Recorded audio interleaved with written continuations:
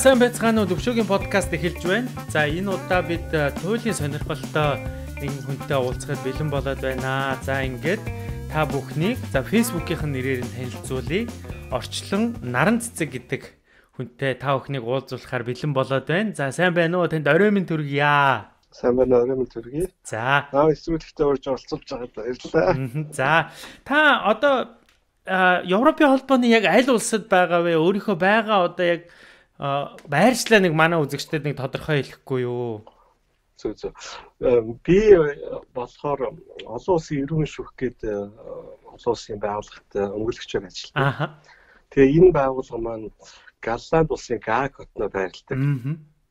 Ийм баа. Би яагаад ингэж онцолж хэлээд юм ихээр ер нь Галландын Гаг хот маань одоо 1900 7 оноос хойш ер нь дэлхийд дахин олон улсын хууль зүйн төв болсон хот гэж тооцогдож ирсэн. Тийм хот уу. Тэгээд би энэ ажлаараа энд ирээд амьдарч байгаа. Тийм тэгээд гаг хот бол Галандын нэг орц цооны 500 600 мянган хүн амьдардаг жижигхэн хот. Гэхдээ хааны гэр бүл парламент засгийн газар байдаг. Олон улсын байгууллагууд, олон улсын элчин сайдын яамдууд нь байдаг юм жижиг юм хот юм байна. За. За одоо би нөгөө яриагаа эхлэхээс өмнө ерөөсөө та хоёрын ярих сэдв бол ерөөсөө нэг хоёр үндсэн сэдв дээр л хуваагдаж ярих юм байна. Тэрийг бас сонсож байгаа үзэгчд маш тэгсэн ихэнд нь мэдээд авчихсан дээр ахаа гэж бодож байна.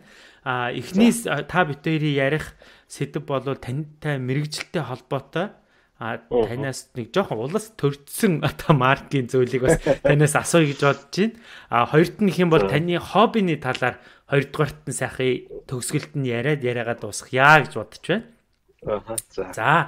Нэгдүгürt хэм бол та олон улсын одоо хуульч хүн те Тэгэхээр та өөрийнхөө энэ мэрэгжлийн онцлогийг нэг манай сонсож байгаа үзэгчд бол надад нэг жоохон товчхон танилцуулаад өгөхгүй юу?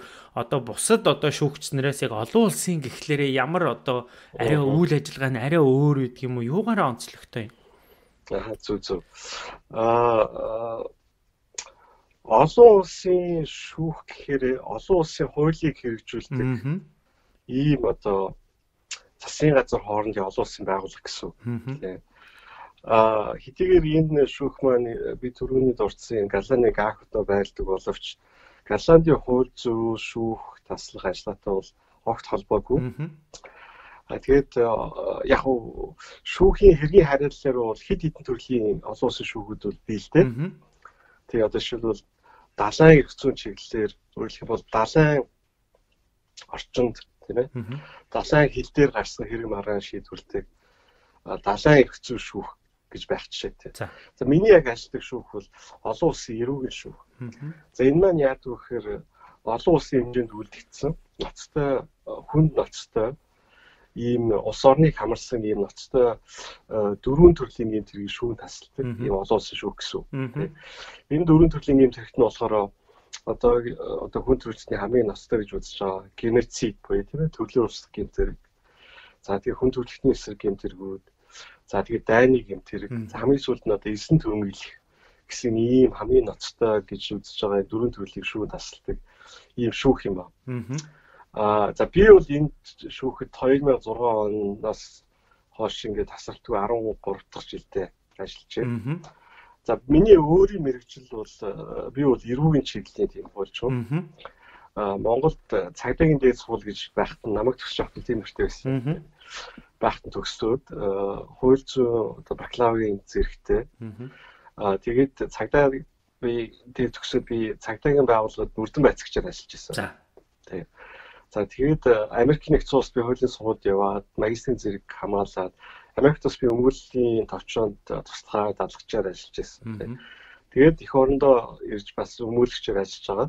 За ер нь цаашдаа би өөрөө мэдлэг мэрэгжлийг дэвшүүлэх хэрэгтэй байна, чадвараа дэвшүүлэх хэрэгтэй байна хүн Америкт эзэмшсэн боловсрлоо илүү үдэнтэй ашиглах хэрэгтэй байна гэдээ олон улсын түвшинд ажил хайж явж байгаа. Энэ шүүхийн ажлын байр зарлагтай ажлын байранд нь шаалт өгөөд ингээд тэнцвэрж ажиллаад ингээд ажиллаж байгаа гэсэн. Тэгэхээр миний яг мэрэгжлийн чиглэл бол би сая дурдсан шиг тийм анхнаасаа тийм эрүүгийн гинт хэргийг мөрдөх тийм яллах өмгөөлөх шүүн таслах ийм чиглэлээр мэрэгсэн ийм хөлж би одоо 99 онд сургууль төгссөн. Одоо ингээд тасралтгүй юм чиглэлээр ажиллаж байна. За манай олон улсын шүүх бол бас яг тийм ээ миний энэ үндсэн мэрэгжлийн чиглэлээр эрүүгийн гэмт хэрэг шүүх тасалдаг.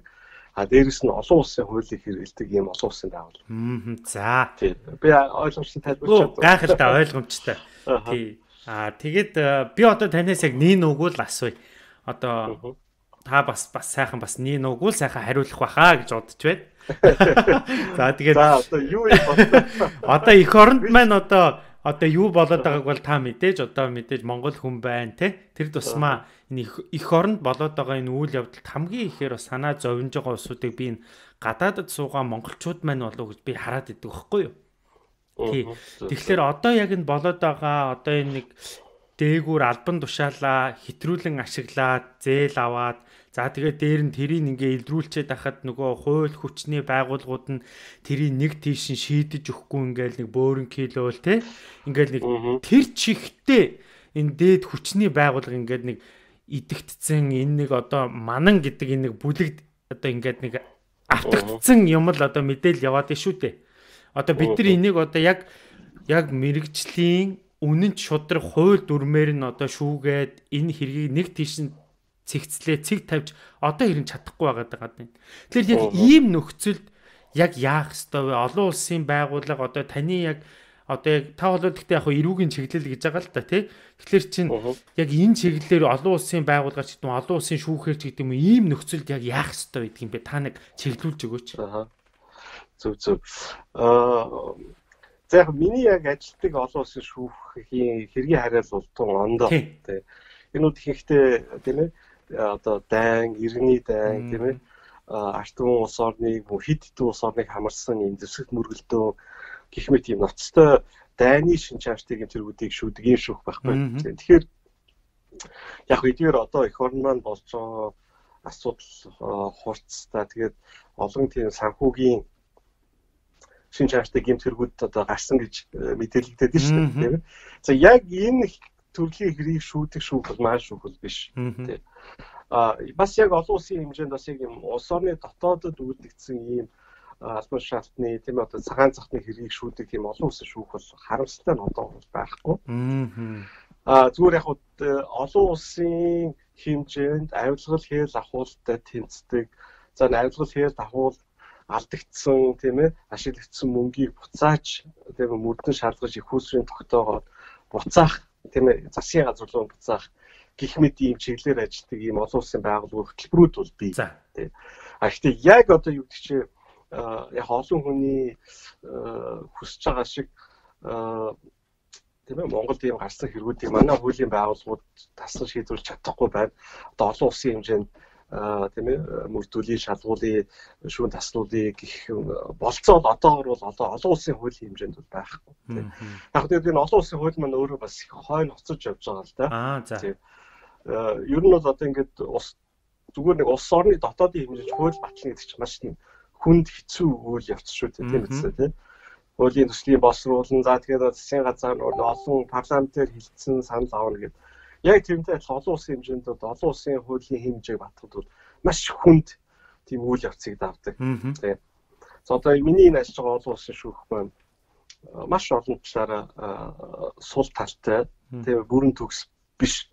Гисэн хэдэж ядаж одоо миний төрөнд урдсан энэ олон улсын хэмжээнд үлддэг ийм дөрвөн гэмт хэршүүд энэ шүүхийг байгуулах гэж хүн төлөгч маш олон зуун жил тэмцэж тийм аа маш олон улс орны хүмүүс тийм ээ төр засгийн удирдлагууд нь тэгээд иргэний нийгэм хүний эрхийн хуульчлал маш олон жил ярьж тийм ээ өмгөөл хийж адвокаси гэж тийм ярьдаг бодлогын өмгөөл хийж ярьж ингэж шилцэж ингэж олон улсын түвшинд ярьж гарч ирж байж дөнгөж одоо саяхан байгуулагдж штэ. Тэгээ тэгэхээр их олон улсын түвшин маань бас харьцангуй тийм яг юм одоо бидэртээ тулгарч байгаа асуудлыг шийдэх хэмжээнд бас хүрэх болоогүй байна л та. Хараахан бас яг төгөлдөрчиж амжаагүй л байгаа юм байна гэж ойлгож болоогүй. Цаашдаа ч олон жил олон улсын түвшинд бол шаардлагатай. Тэгээ одоо би нэг сонирхолтой түүх ярихад одоо манай энэ олон улсын шүүхийн чинь уг нь байгуулах шийдвэр нь одоо 1900 дэлхийн 20 дугаар дайны дараа гарч ирсэн байхгүй. Тэр үеч одоо тийм ээ зүүн Азид үлдэгдсэн ностой дайныгийн тэргүүдийг одоо үйлдэлсэн Японы тийм ээ цэргийн нийцүүдийг шүүх Японд Токиод тусгай шүүх гэж бай олон улсын шүүх байгуулжсэн түүх байдаг. Германд бол одоо хүмүүс сайн мэддэг тийм Нюрнбергийн тусгай шүүхийг байгуулад цэргийн эзэгтнүүд шүүжсэн. Гисэн эдийн сэтгэлгээ 20 дугаар дайны дараа дахиад дэлхийд нэг хүйтэн дайн гэдэг зүйл чинь би бол олон улсын хамтын нийгэмд зөвшөлдсөн алга бол болчихж байгаа ийм үзэгдэл э, харагдаж байгаа юм дээ. За тэгэхээр хэдийгээр тэгээд дэлхийн 20 дугаар дайнаар одоо олон улсын хэмжээнд энэ үүдэгдсэн ностой гэмтгийг шүүдэг олон улсын шүүх байгуулах ёстой мэ гэсэн тийм зарчмын шийдэлтэй хүрсэн байсан ч гэсэн тэр нь олон улсын энэ нөр олон улсын хуулийг хийх нь олон улсын хамтын ажиллагаа зөвшөөрсөн хэрэгтэй.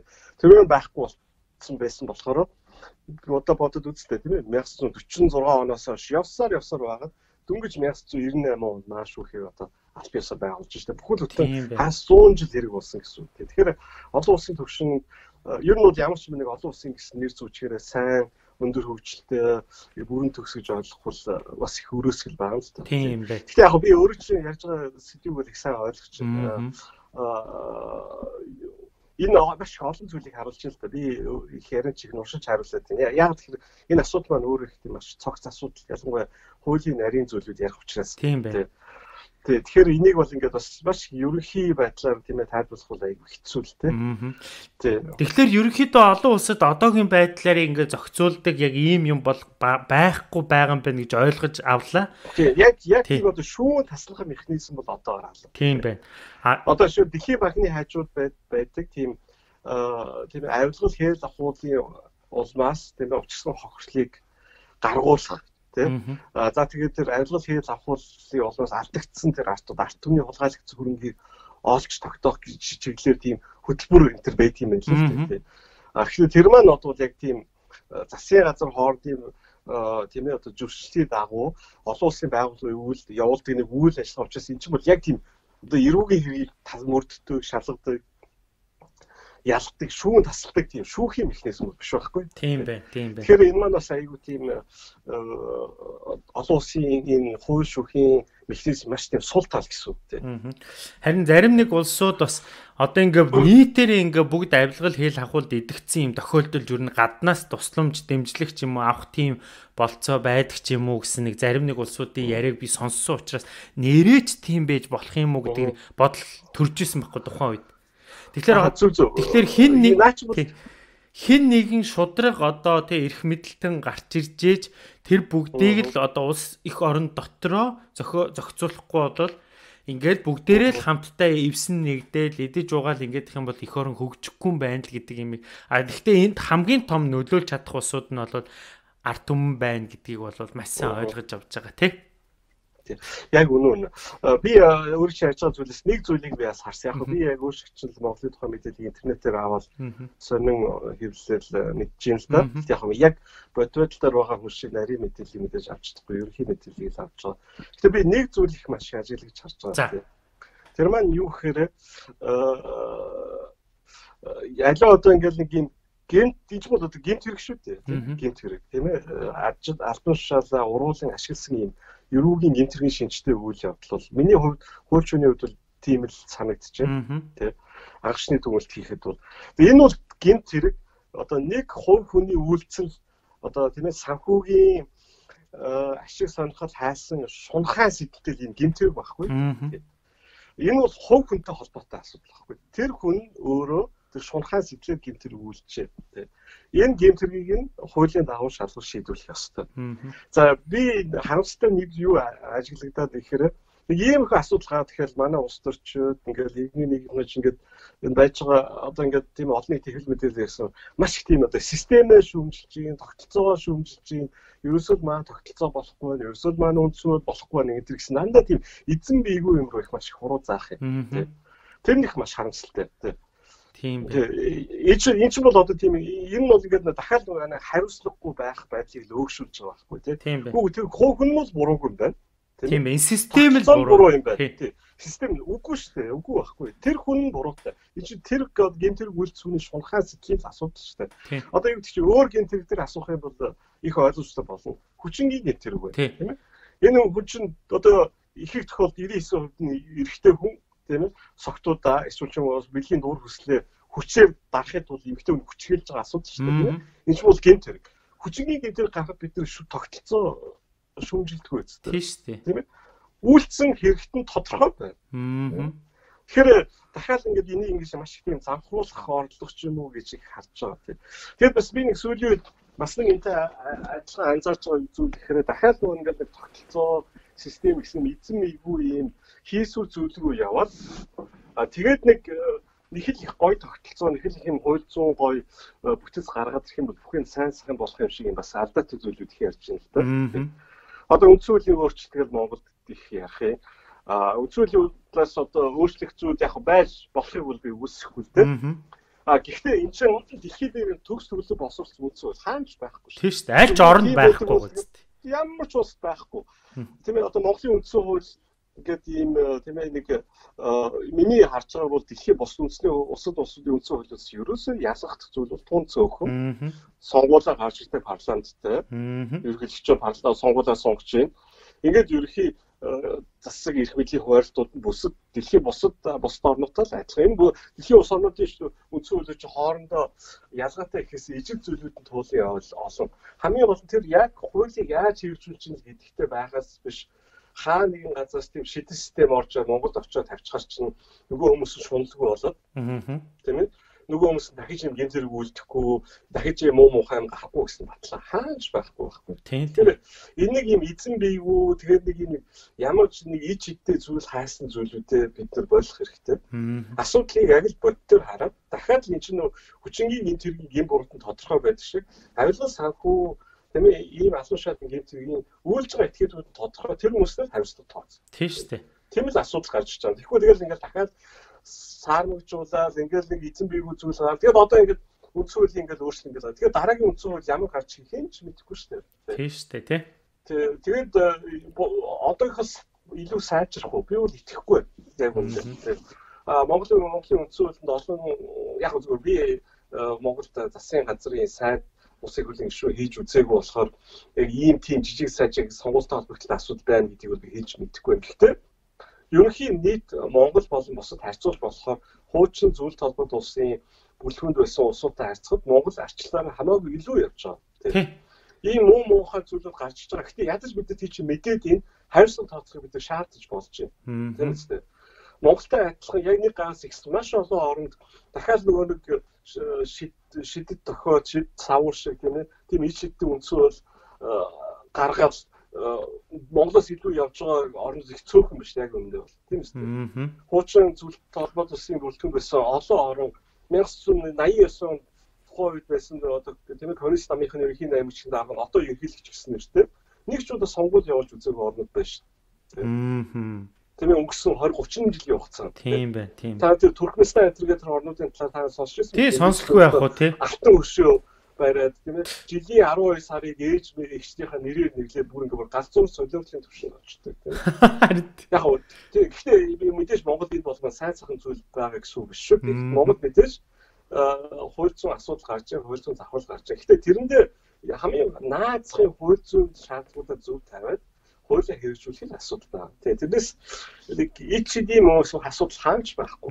Яг Америк л одоо чинь Америкийн эрүүгийн эрх зүй хүний эрхийн талаар баталгаажуулалт өндөр хөгжсөн газар жишээ би бол Америк төрлийн сургууль төгссөн тэр юм байна. Гэхдээ Америк систем чинь дахиад мөн төгс биш байхгүй. Энийг ингээд байнга хөгжүүлж явж байгаа.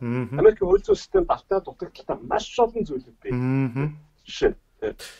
А тэгэхээр энэ олон зүйлүүдийг харж үзэж ингэж илүү ухаалаг шийдвэрүүд гарах болохоос биш. Тэгээ нэг юм муу зүйл гарахаараа ингэж дахиад нөгөө нэг тогтолцоо систем хийсэн байгүй хөнгө зүйлрүү ингэ заагаад тийм.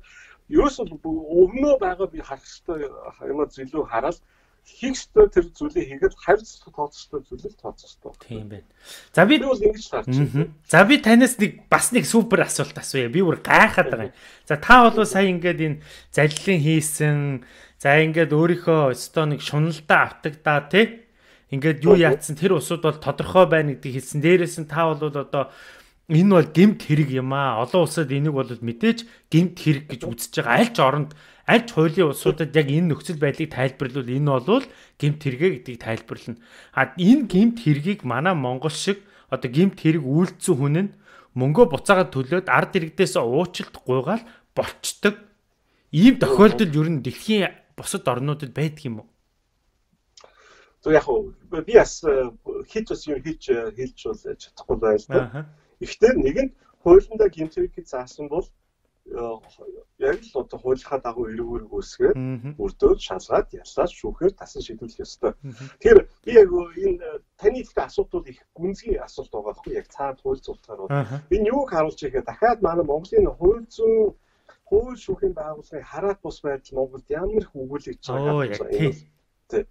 Тэгэхээр би дахиад яг өөртөө би ингээд яг би өөрөө айгүй олон зүйлийг холж утгаад ингээд хурдан хурд ярих гэдэг оролдоод байна л да. Гэхдээ нь бол энэ хууль зүйн шийдлийг хийхэд маш олон зүйлийг ярьж болно. Маш олон зүйлийг хийж болно тийм.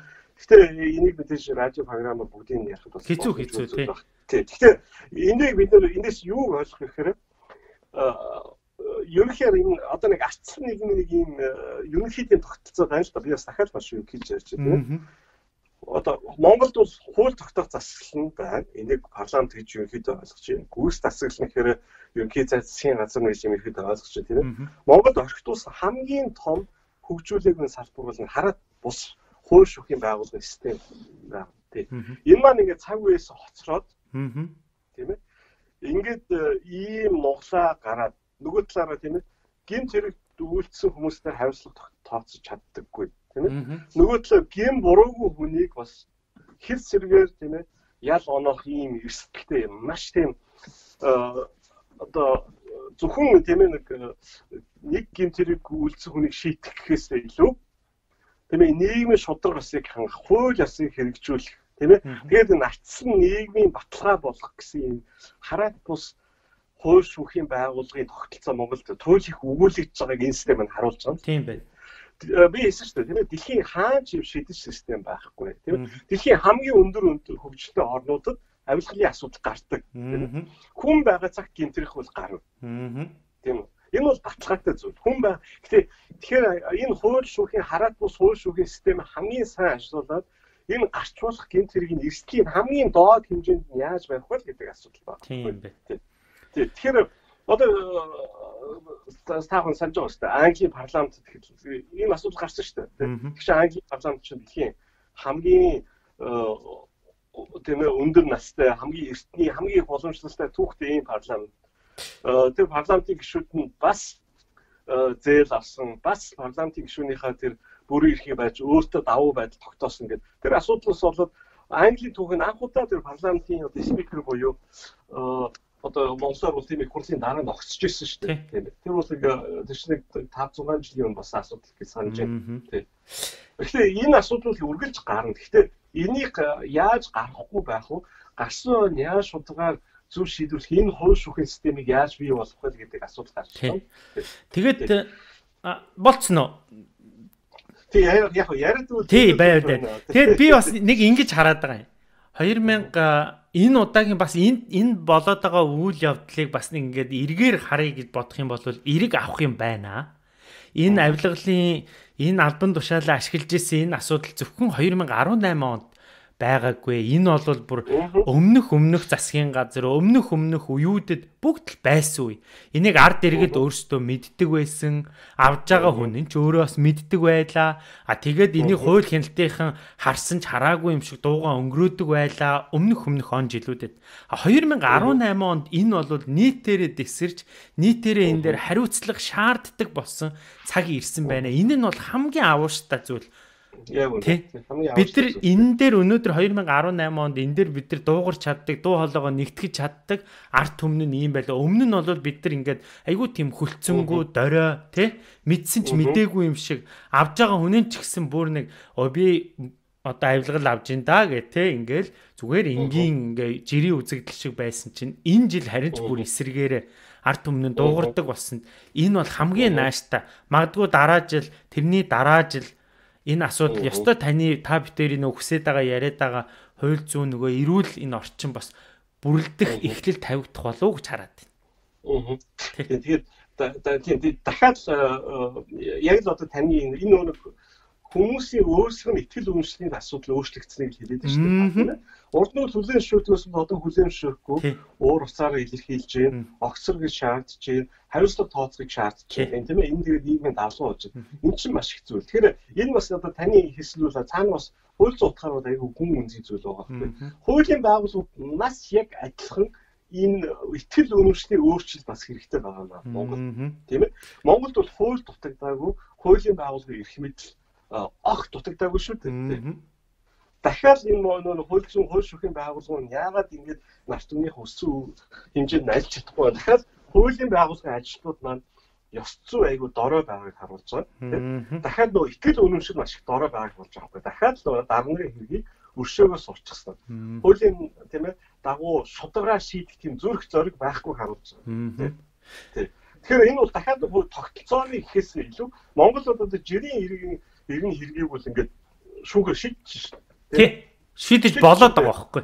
Болдог болдог тий. За тэгэхээр зүрх зоргон гарах юм бол бас улс төрийн өндөр албан шатлан байсан хүмүүсийн хэрэгч шийдэжсэн туршлага бий. Тэгээд яа гинт юм хэрэг гаргаад ирэхээр хууль шүүхийн байгууллага яагаад ашиггүй дахиад нэг хууль шүүхийн байгууллагын ажилтнуудын эрг зөргийн асуудал тийм үү? Шудраг ёсны асуудал. шудраг ёсны асуудал. Итгэл үнэмшлийн асуудал гарч байгаа. Тэгэхээр энэ хуулийн байгууллага одоо нэг би англи хэл дээр тийм нэг үг сонсч ирсэн одоо Чингис хааны хэлсэн үг гэнэ л дээ. Яг би зөвхөн монголоор хэл орчуулж хийж байгаа болохоор жоох утга наадагч магадгүй. Аа ирээд ингээд танаа уурт төрсч чинь цагаан хэрмийг барьчлаа гэж. Одоо дуудсан юм байна л тийм том хаан. Тэгсэн тэр хаан юу гэж хэлсэн гэхээр ямар ч хэрэм тийм ээ. Тэр хэрмийг хамгаалж байгаа цэрэг цэргийн хэмжээнд хүчтэй байж чаддаг гэж тийм тийм шүү дээ тийм ямар гоё утгатай хэлээвэ тэгээ аюу гоё утгатай. Тийм англиар бол аюу гоё гэж сонсож байгаа юм монголоор болохоор би ингэж жоо сонсож авчулаа тийм яг тэр анх хэлсэн монгол үгнүүд бүр гоё явах байсан баг ямар ч бат цайз хэрэм байсан тэрийг хамгаалж байгаа цэргийн хэмжээнд л байна гэдэг чинь. Цэргийн хэмжээнд яг үнийг хэлсэн биш үү?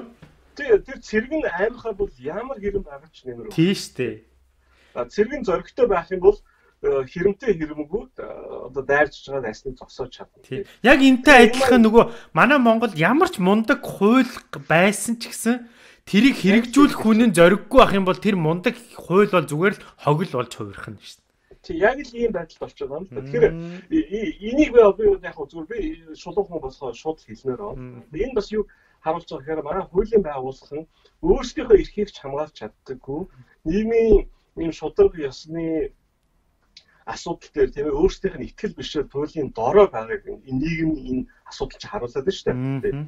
Одоо шил би санаж байгаа тийм нэгэн хэдэн жилийн өмнө одоо ерөнхийлөгч хэлбэгт орж байхдаа өөрөө зарлага гаргаад Монголын бүх шүүгчнийг ажлын талаас ажил албан шалс нь халаад за.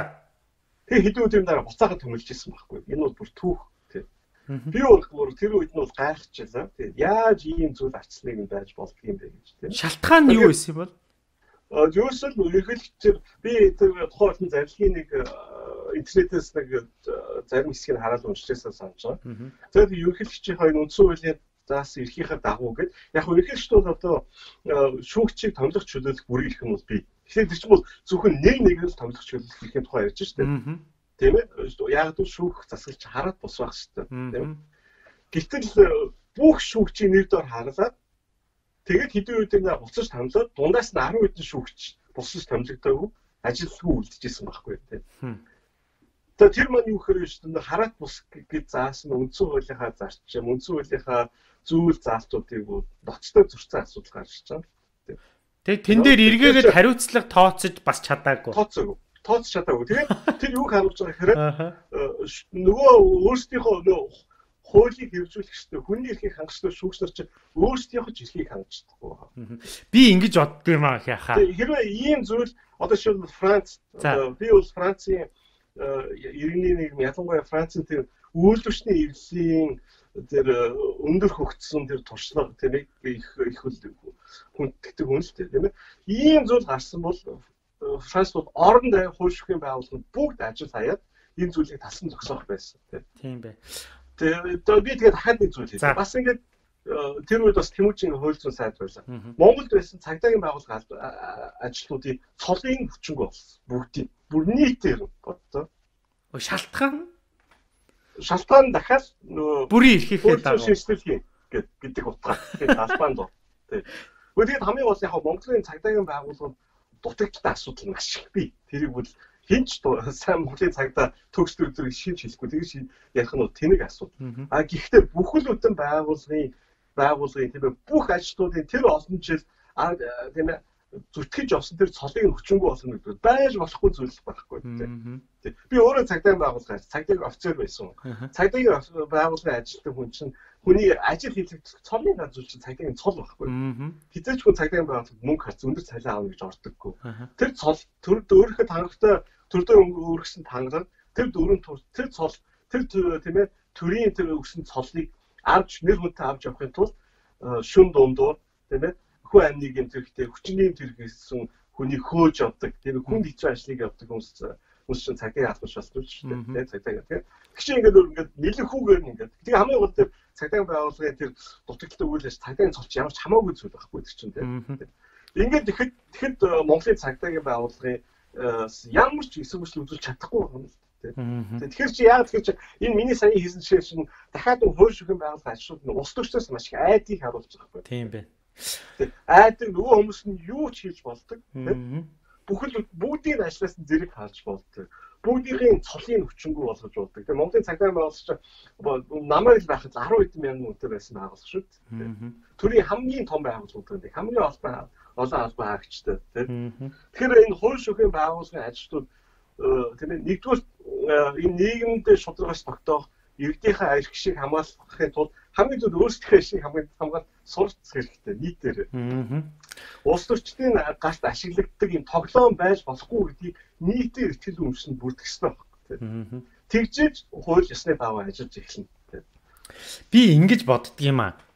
Одоо ингээд энэ тэр тусмаа таны саяны хэлсэн төрийн дээд албан тушаал хашиж байгаа ч гэдэг юм уу те энэ улсууд энэ одоо энэ цаг үед яг энэ албан тушаалаараа түүх бичлэлцэж яваа гэдгээ ер нь заримдаа мартдаг юм шиг байгаамаа.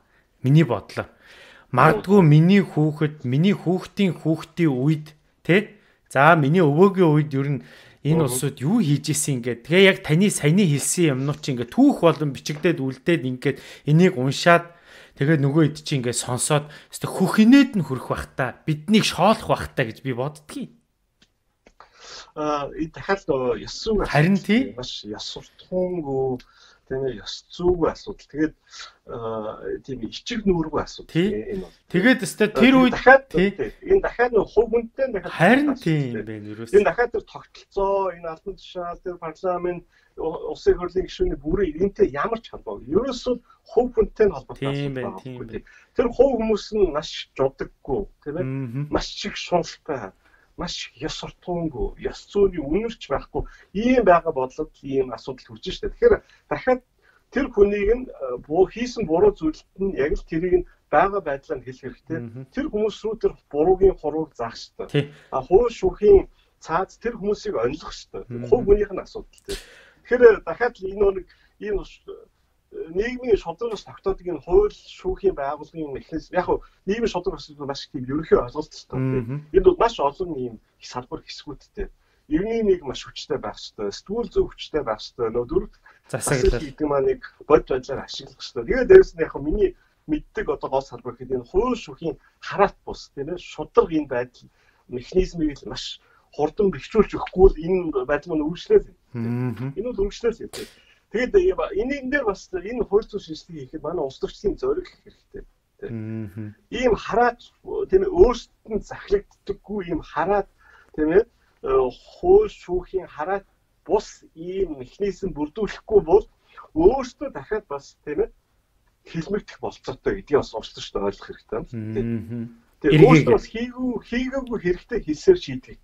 А нөгөө талаар хийсэн гэмт хэрэг үйлдсэн маш тийм ноцтой ёс зүйн хууль зүйн зөрчил гаргасан ийм хүмүүс хариуцлага хүлээхгүйгээр тийм ээ үлдэх одоо англи бол impunity гэдэг л энэ тийм хариуцлага хүлээхгүй байх юм явдал газар авна тийм Тэгээд ингээд ялангуяа нийгэмд ийм өндөр хэмжээнд гарсан гэмт хэрэгт хариуцлага хүлээлгэж чадахгүй болохоор энэ чинь нийгэм тэр чигээр тусч байгаа шүү дээ тийм ээ. Энэ нийгэмд ч одоо мэдхтэй босолтой хүмүүс нь бол энэ асуудлыг арай ондоо хүлээж аваа. Мэдлэггүй босолгүй хүмүүс маш их байна шүү дээ. Тэр хүмүүс чинь яа шууд хүлээж аваа. Энэ хүн чинь ингэж хүчингийн төв гэж болдго юм байна. Энэ хүмүүс чинь хулгай хийж болдго юм, дээр мэж болдго юм байна. Ямар ч хариуцлага хүлээдэг юм. Энэ чинь шууд ялангуяа нийтэр залуу үеийнхэнд бол шууд тусгал болж очиж байгаа байхгүй. Яг шууд тусгал шүү дээ. Яг л ингээд ер нь бол ер нь бол хууль гэдэг шиг ингээд энэ хуулийн яг амин сүнс нь юу юм бэ? Бод байдалтай хэрэгжиж байгаа зүйл байхгүй. Тэр хуулийг хэн ч хэрэгжүүлдэггүй тэр хууль бол зүгээр цаасан дээр бичсэн л зүйл. Юу ч биш.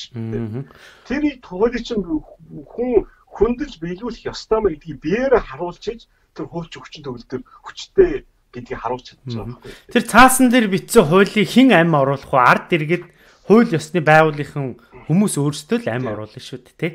Тий яг үнэ. Тэгээд би одоо нэг энэ жишээг ингэж ярих дуртай. Би энэ Шинзландд ажиллаар явж байгаа. За Тэгээ Швейцарч нэг хөдөө аж ахуй хөгжсөн улс тий. Тэгээд нэг маш тийм аюу маш олон километр үргэлжлсэн юм жирсний тариалангуудтай. За. Тэгээд би ингээд машинаар ингээд ажиллаар явжсэн хүмүүст ингээд авахад ингээд э, талбайгаар ингээд авч байгаа байхгүй. Тэгээд ингээд баг бүтэн цаг авч байгаа нөгөө зогс нөгөө тариалмын талбар нь дуусахгүй тийм. Тэгээд нэг зам дээр ирээд зогслоо тэр хамт хинч байхгүй тийм. Тэгэхэд ингээд тэр уулуур дээр ингээд ширээ засчихсан. Нөгөө алюминуудыг чи ингээд нэг нэг хилээр ингээ уутлаа тавьчихсан тийм ээ. Тэгээ хажууд нь нэг хил нь 5 доллар гэж цаасан дээр бичсэн. За. Тэгээд ингээд хажууд нь нөө варийн шил шил тавьчихсан байна тийм. Хинч байхгүй тийм чинь. Хүмүүс нь буугаад 5 доллараар нөө шил дотор хийгээд нэг хил алим аваад ингээд явж. Энэ нь л жинхэнэ ёс суртахуун ёс зүй гэдгийг харуулж байгаа байхгүй тийм. Тэгэхээр би яг хөө зүгээр би нөө дахиад илүү арай нэг жоохон тийм бодгүй тийм барьцгүй зүйл ярьж байгаа шүү. Гэхдээ дахиад эн чинь дахиад хувийнтэй дахиад бидний өөрсдийн итгэл үнэмшилтэй холбоотой асуудал. Бид нар өөрсдөө тэр хуулийг чи хүндж биелүүлж ээж дахиад тэр хууль чи амин оруулна дахиад тэр хууль чи хүчрэх болно гэдгийг ойлгох хэрэгтэй. Тэгэхээр энийг одоо сонсож байгаа тийм ээ таны подкастыг сонсож байгаа хүмүүс байх юм бол та үргэлж тэр нийгэм шудраг ус өсч байгаа. Та өөрөөсөө ихэл гэж би хамгийн хэлмээр. Тэгэхгүй хүнээс хууль ёсыг шудраг усыг хууль ёсыг шаардах юм бол хизээч бид нар тэр одоо хууль дээдэлдэг тийм нийгэмд бол очихгүй гэдгийг ойлгох хэрэгтэй. Ялангуяа тийм ээ өндөр хариуцлага ажил хадгалж эрхэлж байгаа хүмүүс нь бүр илүү тэр хуулийг биелүүлэх хэрэгтэй. А гэхдээ дахиад тийм ээ өдөр тутмын тийм жижиг сажиг асуудал төр ч гэсэн монголчууд бид нар өөрсдөө шудраг өөрсдөө өндөр ёс суртахууны мэдрэмжтэй өндөр ёс зүйтэй байж ич. Тийм үү тэр хууль ёсыг дээдэлдэг нийгэм биднэрт ирнэ тийм. Одоо та бүхэн санаж байгаа юм. Одоо ингээд Америк, Японы хоёр жишээ байна.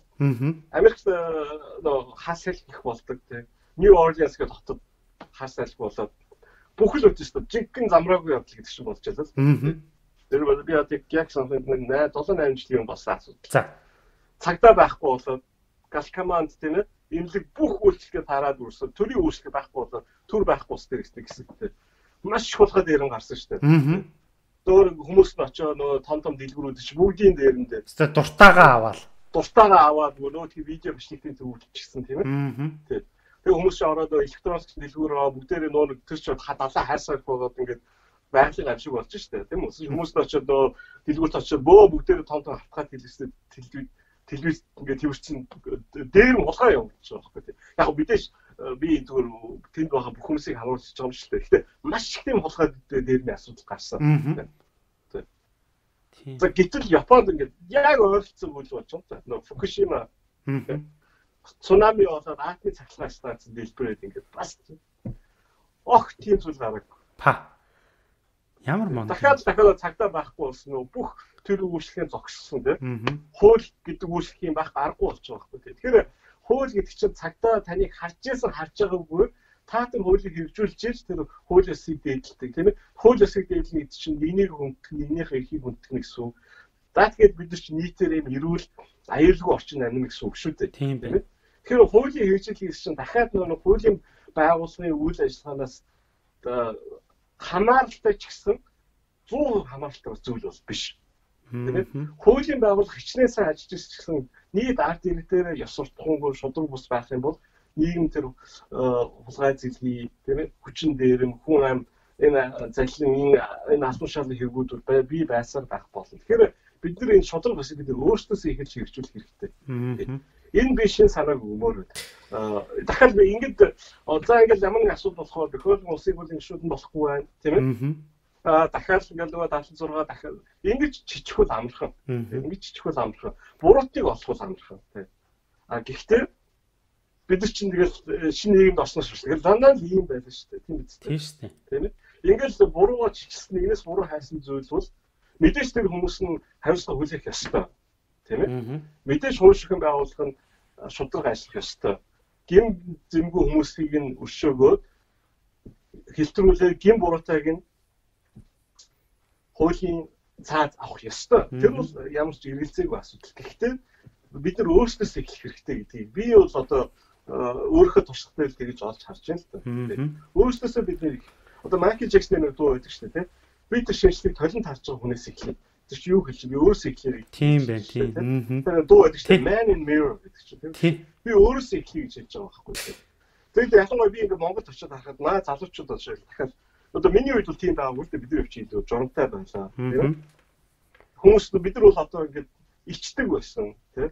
Буруу юм гэсэн айдаг байсан, ичдэг байсан тийм үү? Бидний ахмад өвч бид нар зөв дүүлгүүд хоёрыг үзүүлдэг байлаа. Коммунист нийгэм чинь олон талаараа буруу байсан ч гэсэн бас олон талаараа зөв байлаа шүү дээ. Тухайн бидний одоо өсөж ирсэн нийгэм бол эдгээр эрхчлөө баг байсан ч гэсэн хууль хатуу үйлчлдэг байсан тийм үү? Тэг журам нийгэм байсан тийм ээ. Одоо чи ингээд тэр ийм энэ Монгол болж байгаа ийм үнэн саманы асуудал ч энэ залуу үеэс хүмүүстэй маш муу үлгэр үүрэл үзүүлж байна. Тэгээд хүмүүс яг энэ олон зүйлийг яг ингээд хуулж авч байна. Энэ муу мухай зүйлүүдийг. Аа. Тэгэхээр бид өөрсдөөс эхлэх хэрэгтэй гэдэг бас бид нар аюулсаа ойлгох хэрэгтэй. Тийм байна. За за та битэрийн яриа одоо эхлээд жоох уус төрцсөн бүр төгсгөл үртлээ явчлаа. Гэтэ яг хуу таны яриг бол би үнэхээр тасалж чадсангүй. Яг тэгэхээр сонсож байгаа надад бөгөөд бас сонсож байгаа сонсогчд маань бас маш хэрэгтэй шин зүйлүүдийг бас ойлгуулж өгсөн байхаа бас шин талаас нь харах тэр болцоог олгож өгсөн байхаа гэж бодож байна. Бит хоёрын саяны ярьсан зүйлс бол хамгийн гол одоо хэлэх гээд байгаа санааг та бүхэн ойлгосон байхаа тий гол юм нь хууль хэрэгжүүлэх хуулийг амь оруулах улсууд чинь толин тарж байгаа хүнээс эхэлнэ гэдэг байгаа шүү дээ тий тий. Одоо ингээд э, би нэг би би сонирхсан шүү дээ. Тийм ээ. Жишээл ингээд Монголд ингээд яхад Монголын бизнесменч бүгд өөр өөр ингээд лавтай байдаг гэж байна тийм ээ. Одоо шүү Монгол хүний хүмүүсийн хувьд ингээд ийм шашин шүтлийн асуудлыг сонирхолтой тийм. Буруу юм хийчихэд нөгөөтгөө зүгээр болгож өгөөч гэж гуйдаг. Тий. Тийм үү ламаас тийм үү. Одоо гинт хэрэгт орчлоо та ялгүй гаргаж өгөөч гэж ламаас гуйдаг. Тийм ээ. Та өөрөө тийм итгэл бишрэлтэй байх юм бол та хүнийг буруу хүн хийсэн хүнийг хуулийн дагуу яаж шийдлээ авах ёстой гэж хэлэх ёс суртахуунд ирэхгүй байхгүй. Яг тэрнтэй адилхан бид нар өөрсдөөсөө тэр шинжлэгийг эхлэхгүй бол Монгол улс маань яг л энэ хэврээд яваад байна. Тийм байна. Тийм ээ. Тэгэхээр бид нар өөрсдөөсөө эхлэх хэрэгтэй. Тийм өөрсдөөсөө эхлэх хэрэгтэй. А тэгээд ингэж нийгмээр ингэж э, тийм ээ ирүүлчихэж илүү нэг хар буруу юм улам илүү тод болно. Тэгвэл одоо ингээд энэ Монголд энэ хууль зүйн асуудал ийм завхар төрж ийм ийм улаан цайн тийм ээ э, тийм гинт хэрэгүүд гарч юу харуулж ихэр чи ингээд нийгмийн боломжтой байгаа болохоор тэдний муу юм хийж байгаа юм өөртгөөс буруу муу юм хийж байгаа гэдгийг олж харахгүй байгаа байхгүй.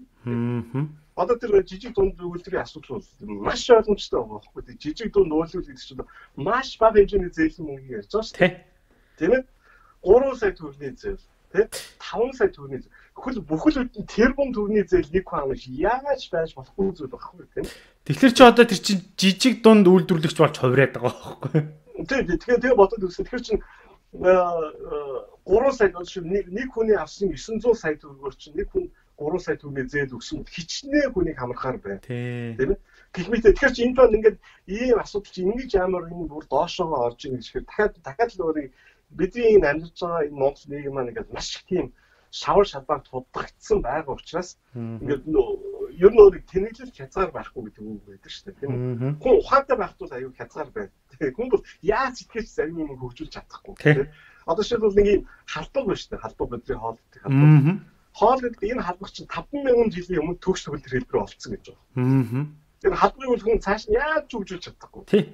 Өшөө илүү яаж төгс төгөлдөр болгож чадахгүй байгаа. Тий. Тэгээ одоо шиг би дэлхийн өндөр өндөр хөгжилтэй хүмүүс явхад зарим газар үнэхээр ингээд гой гой юм байж байгаа мөртөө зарим газар үнэхээр ингээд бүр шалтан унтсан байдаг шүү дээ. Хөгжүүлж чадахгүй зүйлүүд бол байна. Хүн төрөлтөнд байна. Дэлхийн өндөр хамгийн өндөр хөгжилтэй орнууд дэлхийн хамгийн баян нийслүүд ихэд хажууд нь ядуу хүмүүс байж байгаа. Ядуу амьдралтай хүмүүс байж байгаа. Яг бол тэр ядуултай төвсгөл гэдэг чинь маш тийм комплекс цогц асуудал, хэцүү асуудал байхгүй тийм. А тэгэхээр яг яаж нийтээр дундаж давхны хүчтэй байх вэ гэдэг асуудал шүү дээ. яг тэрнтэй адилхан гэтэл энэ доошлоход бол хязгаар байхгүй ингээд Яроолууга бүр бүр уламжлахгүй юм. Тэгэхээр бүр яагаад ийм асуудал ийм амар улаан цай ийм бүр мэдээжийн ийм ноцтой тийм ээ ийм шавар шалбаг ийм одоо өнөр танастай муу мухай зүйлийг хүрвэ гэдэг чинь. Дахиад маа нийгмээр бид нар ийм богшмол ийм муу мухай зүйл бид нар нийгмээр амьдарч штэ. Одоо харин өөрчлөхөд бол бид нар өөрсдөөсөө эхлэхгүй бол хитгэн хүнээс ийм хариулт хүлээгээд ерөөсөн нэмэргүй. Одоо харин энэ нэг сошиал орчин тий энэ нэг юм бас бид нар зөв ашиглаж чадах юм бол а сүүлийн үеийн залуучууд маань бас Монголын ирээдүй энэ нийгмийг бүрдүүлэх улсууд маань эдгэр учраас эдгэр маань одоо яг зөв их хэллэлийг тавьж зөв цаашаа явах ёстой байна. А бид нар бас одоо одоо энэ 80-аад оны энэ залуучууд бидний залуу үедээ бас энэ зөв нийгэмд ингэж хөлд ороорой гэдэг юм нь бас бас бид нар нэг чиглүүлж өгөх ёстой усууд юм болоо гэж би бас хувьдаа бодоод байдгийн. Үнэн үнэн. Үнэн. Э, Тэрнээс биш одоо энэ 60 оныхон одоо энэ 70-аад оныхын эдрийг бол одоо ингээд ер нь бол засаад энэ сэтгэл зүгийг өөрчилнө гэдэг бол худлаа юм байна гэсэн юм нийгэмд ингээ яриад ах юм. Тэгэхгүй дахиад дахиад энэ юу э, яг зүгээр нэг яг хуулийн нийгмийн үргэн асуудал ярьж байгаа болохоор бас хэд юм хийчтэй тийм. Зарим талаар бол магадгүй үнэн байж магадгүй. Тэгэхээр тэгэхээр нөгөө талаар бол дахиад энэ хувь хүний хүчин зүйлс байна л да. Тийм одоо ингээд ингээд бодоод үз. Хятад одоо Ши Жинпин гэдэг ерөнхийлөгч гарлаа. Тийм. Би бол одоо хоёр хуршийн улс төрийг бол маш их өгдөг. Тийм. Яг л бидний мөнхийн хурш бидний амьд шууд нөлөөлөх учраас. Тийм. Ши Жинпин чиг ерөнхийлөгч гараад Хятад хэл ахуулын эсрэг тэмцлийг энэ хүмүүс цоошоо шатан гаргалаа. Тэгсэн. Тий. Одоо хятад утгаар нь үзүүлдэж шүү дээ. Урд нь ингэж хэлдэг байсан юм байна л та. Яг би зөв хятад хэл мэдэхгүй болохоор би нэг англиар мэд орчуулсан мэдээс дандаа сонсдог болохоор урд нь бол ингээд яла бар хоёр гэж ангилдаг байсан юм байна. Яла гэхээр нэг нөө жижиг ахуулчтай. Тийм ээ. Тайгер буюу бар болохоор том ахуулчтай гэдэг. Тэгээд нөө хятадын нийгэм байсан юу зүйл гэхээр хятад бол хууль хатуу үйлчлдэг. Гэхдээ дандаа ялаатай тэмцдэг гэсэн ийм ойлголт бол их байж л тээ. За тэгээд энэ Ши Жинпинг ерөөс гарч ирд хамгийн түрүүнд ерхийлэгч бол хэлсэн үг нь би ялагч даган баригч даган гэж хэлсэн байхгүй. Та. За тэгээд энэ хүн гараад төрийн их наснаас бүхэл нэг сая илүү төрийн түвшмөдүүдтэй хариуцлага тооцсон. Нэг сая штэ бодоод үзтээ. Хятад бол том орн л тоо 1 тэрбум 500 сая хүн байна. Тийм. За тэгээд хятадын коммунист намын дээрээс 3 дахь хүнийг хүртэл хавал хэр хавлын ингээд хариуцлага тооцлоо шүү дээ. Чадж ш тий. Чадж. Тэгэхээр тэгэхээр тэгэхээр бас нэг юм аа. Энэ бол хараад энэ өөрөө Ши Жинпин ерөнхийлөгч өөрөө би энэ хэл ахуултаа тэмцэнэ гэдгийг өөрөө энэ ерөнхийлөгчийн засаглалын тэрүүн зорилго болгоод өөрөө зоригтой учраас энийг хийж чадчихсан юм. Аа. Энэ чинь дахиад л өөрөө энэ хуучин нийгмийн хүн шүү дээ. Тийм ээ ахмадасны хүн. Тэгэхээр одоо бас бас энэ дээр одоо найдлага алдаж болохгүй нэ тий. Тэгэхээр энэ хүнтэй л холбоо. Тэгээд бас нэг юм байна. Монгол ч юм уу жижигхэн улс гэж бид нар хаалцах хэрэгтэй. Гуравхан сайн хүн. Би бол дэлхийн би бол олон улсын байгууллагад ажилладаг хүн. Америк сургууль төгссөн. Би Европ олон орноор э, сургуулиуд бэржил дэжлэг сургууль сурч байлаа. Өөрөө бас Астрс би Ирландд туйлцоо сургуулиуд лекц уншиж явж олон хүний бид харилцсан анхны монгол хүн би болчихсон. Тэгэл асуудал бол Монгол хэдэн хүн гэхээр 3 сая. Тэгэхээр дөнгөж саяхан 3 сая болсон шүү дээ. Тийм шүү дээ. Миний амьдралын ихэнх туршлагууд 2 сая л гэж дандаа явсан. 2 сая тийм. Би нэг ийм залуутай уулзсан Монгол хэдэн хүн 2 гэж гайхаад байна ч. Ингээд 1 2 ингээд болоо. Харин тийм. Одоо энэ шивэдүүд хүртэл зарим улсууд нь хэлэхээр ингээд бүр гайхаад идэв ш. Тийм том талбайтай байж танах Үгүй тэгээд одоо 3 сая юу гэл ингээд Кайро хот чинь 4 сая хүнтэй дүүрэг байна гэж байна. Тэгээд гэж одоо таач манайт дүүргэж жоох юм биш тэгээд. Кайро очоод баг 20 20 илүү сая хүнтэй юм. Ивч нийтдээ баг 100 сая. Тэгэхээр 3 сая хүнтэй тийм ээ. Тэгээд энд очсон төрийн албан хаагчсан 200 мянган хүн байт юм байна. Тэгээд энэ чинь бүгд орж байгаа шүү дээ багш нар, эмчнэр, совилагч нар. За яг ингээд нөх хээл ахуул авах хэмжээний албан шалтгаан мөнгөтэй хитгэн хүмүүс байгаа байхгүй энэ хүмүүс. Тий. Улсын хурлын 76 гишүүн байгаа шүү дээ. Тий. Тэгээд засгийн газрын 10 хэдэн. За тэгээд тэрнээс доошогоо дэд сайн төрийн аймгийн агентлагийн 11 ингээд л хитгэн 100 хүний асуудал байгаа байхгүй тийм. Тэгэхээр Монголд авилгалтай тэмцэнэ гэдэг хятад авилгал тэмцэж шал хоёрын асуудал шүү дээ. Хэрвээ энийг зөрөгтэй зарчимтай ёс зүйтэй хүн гарч ийн Монголд хэл авахыг цэглэх бол туйлын амархан байхгүй тийм бэ. Одоо яг нэг сүүлийн үед хүмүүстүүд яг сая таны өөрч ярьсны ийм нэг гутран үзэл аяг газар аваад байл. Аа. Өө бид нар юусоо дийлэхгүй байна. Энд чинь ингээд мөнгөтэй байна, хөнгөтэй үгүй. Аа. Нэг ийм гоё үг байдаг шүү дээ. Эрхэн зөрөгтэй бол чонцсон галтаа гэж. Яг зүгээр яг эрхэн гэдгээр нь яг Монгол үгэнд л тэгэл орчих дээ. Ирчвэ эмч бай. Аа. Хүн зөрөгтэй, зарчимтай, тууштай хөдлөх юм бол юу ч өөрчлөлт болж чаддаг. Ялангуяа хууль өөрхөн тал байгаа цаг.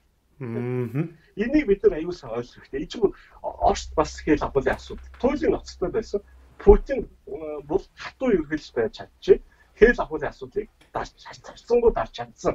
Оросд гэдэг. Оросд чи 90 онд ямар амар эдийн засаг нурчсан байлаа. Тэг. Би одоо Америкт байсан санаж байгаа байхгүй нөө. Хуучин хүйтэн дайны үед чи Оросууд Америкт хоорондоо бүх юм өрсөлддөг байлаа шүү дээ, тий. Сансрыг эзэмсгээл хооронд өрсөлдөг. Бүгдийг төрүүлж авчих гал тий. Бүгдийг нэгд гарах гал. Тэр нөө Оросууд хамгийн сансралгүй нисгээл Америкээс саран дээр буугаад ингээд тий. Тэгэд 90 онд ингэж би Америк эрдэмтэн ярьжсэн байхгүй. Яг өөртөө нөө сансрын э, технологи өсөж ирсэн эрдэмтэн 90 онд Москвад очиж гудамжинд алин зарчсан. Аа. Тэг. Тэр Америк эрдэмтэн тэгж ярьж байгаа. Наттай нэг өрсөлдөлтөөр нөгөө энийг мэдчихэж байж тээ. Аа. Өрсөлдөжсэн үн 90 онд гудамжинд алин зарчсан. Орсын эдийн засч бүр тэгж амар нурсан байхгүй тээ. Би одоо тэр үед яг би хайцсангүй жоох хөвтэйсэн л гэхдээ би харж ирсэн тэр Орсын нийгмийн өөрчлөлийг. Орчин өөрсдөө бодоо болсон шүү дээ. Аа. Тэгээд би одоо Монгол явахдаа байнга Москваар дамжиж хаяа би бас Москв явж амардаг. Москв өнөөдөр өнөөдөр баруун Европын ямар гоё өндөр хөгжилтэй том хот болж хуурсан байна тийм. Баруун Европоос огт ялгаа алгуул шүү дээ. Орос. За дээрээс Орос чинь том алт мөн том байгальд газар нутгийн их баялагтай маш чимээл алтан болж чадсан шүү дээ Орос. Тэгээ энийг чи яаж энэ чинь үсгээр хэл авахултад тэмцэж чадсан болохоор ингэж үсч чадж байгаа байхгүй тийм байна. Тэгэхээр Оросд бидний хоёр хажууд хөрс орчин бол 150 илүү сая хүн тийм. Хятад бүр нэр тэм тэр хүн 500 сая хүнтэй тийм. Чи бидний эдгээр байгаа хажууд 3 саятай хүмүүс бид Ёстой онгоо шүү нэрээ тий. Онгоо хэдхэн хүнтэй тэмцэх хэрэгтэй асуудал байхгүй. Харин тийм ээ. Хүнтэй тэмцэх хэрэгтэй асуудал. Бид нар хятад одоо хят шиг проблемтэй байсан бол бид нар яа тий. Тийш. Бүгд нэг тэр бүм тий 500 сая. Тэгээд хят чинь дотор 50 хэдэн үндэснийг цөөхтэй өөр монголчууд байна тийм монгол байдаг. Оросууд хүртэл байт юм байл шүү дээ. Чи орос хэлтэй. Тэгээ нөө оростой хэл залгай газар удаа. Ингээ угшиг болгоо нөө Кампуч, Вьетнам, Вьетнам ингээд ингээд явна тийм.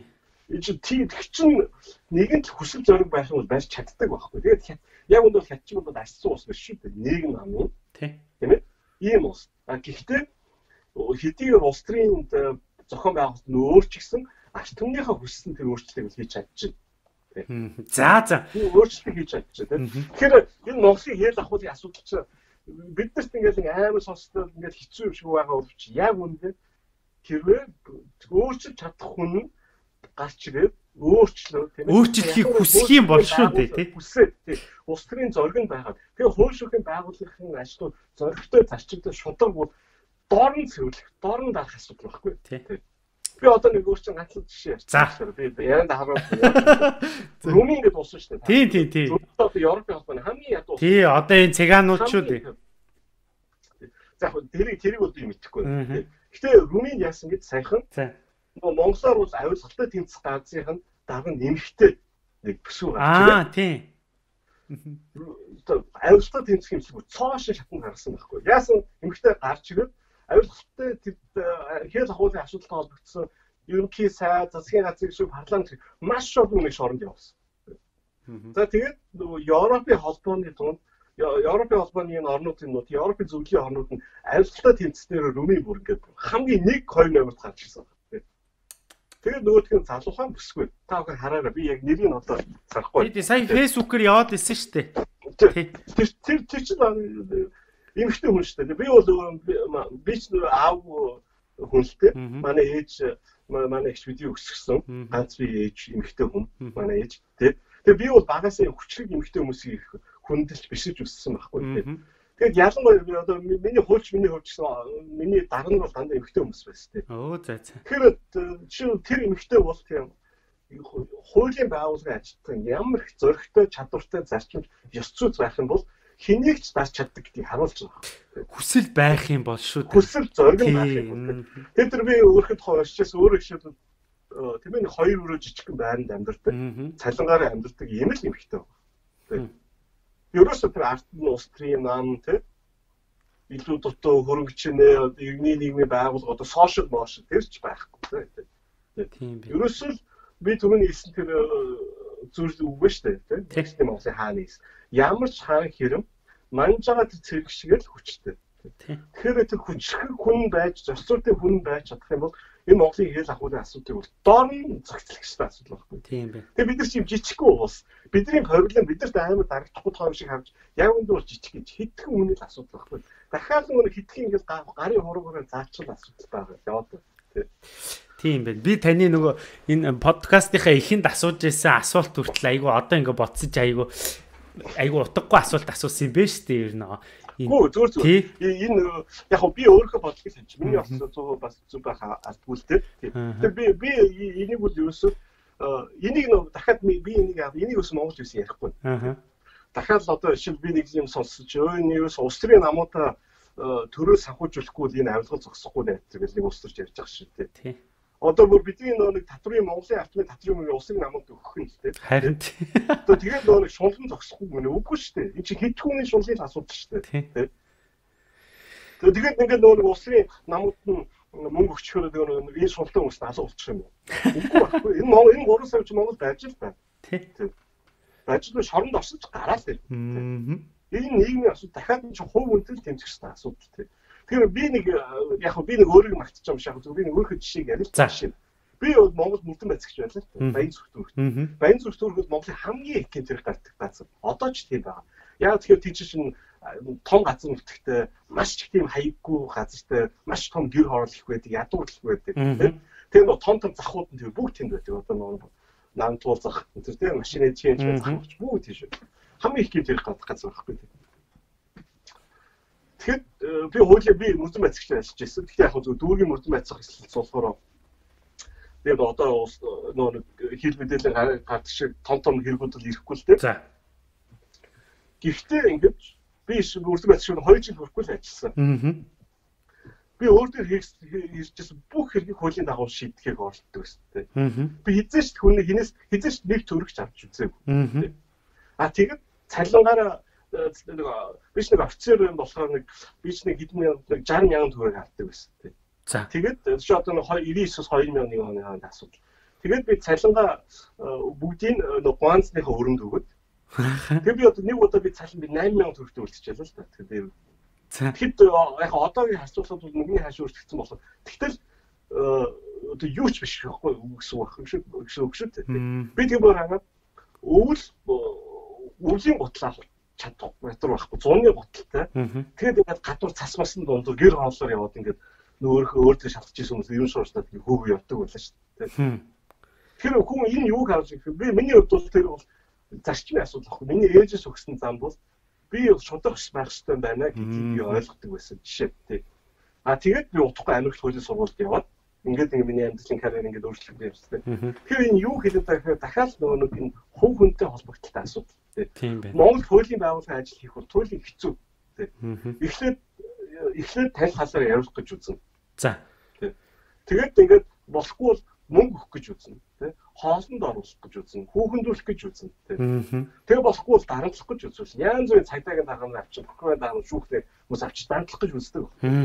Аа тэгээд үгүй би хуулиар ханддаг яаж чаддгүй байхгүй. Хин ч яаж эцсийн мөч те эцсийн мөч. Яаж чадахгүй те жишээлбэл би ингээд баян сүрхий 2 жил ажилласан. Гэхэд эхний жилдээ удаа аюу хэцүүсэн байхгүй аа Тэгэл надад нэг баарны эзэн зодооны хэрэг шалгачсан. Манай цагдаа эцэс нөө хэргийн одоо хэрэгсэхгүй болгооч өгөөч гэж тэгэж гоо тэгж гууг гуугаагүй хүн баг үлдээв үзээ манай бүхэл цагдаа хэлсэн бод. Бүх бүх орчтон.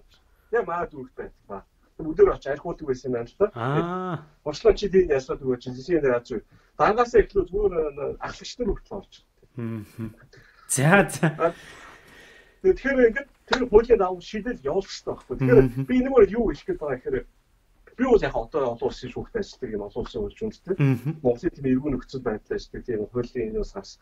Ерөө энэ подкастыг сонсож байгаа би нэг нэг зүйлийг хэлье. Хуулийн байгууллагад ажиллаж байгаа хуулийнхан хууль шүүхийн байгууллага байх нь та бүхнээс энэ болсон шалтгаалж байгаа тийм ээ. Та бүхэн тэр ихэнх нь байна, хууль нь байна. Яг нь Монголын хууль олон талаар дотор хөгжсөн цаашдаа хөгжүүлэх ёстой, өгөн төгс болох ёстой олон зүйлүүд мэдээж бий. Гэхдээ энэ болгоомж өөрөөс нь шалтгаан та шудраг байгаарэ. Тийм үү? Зарчимтай байгаарэ, ёс зүйтэй байгаарэ. Монгол шудраг ажиллах юм бол ажил болдгоо шүү. Болдгоо шүү тийм. Өөрөөс чинь бүх юм шалтгаалж байгаа тийм. Тэр шудраг усыг та тогтоогоор тийм. Нэг жижиг хэрэгдэж чамаагүй. Энэ бол хууль ёсог шат тогтоомж бол заавал ингээд бүгдийн сайдаа нэг шүхээр хууль хэрэг авсны шоронд юм гэсэн үг биш шүү. Өөдөр ч уурсан жижигхэн халаасны улгааны асуудал тийм үү?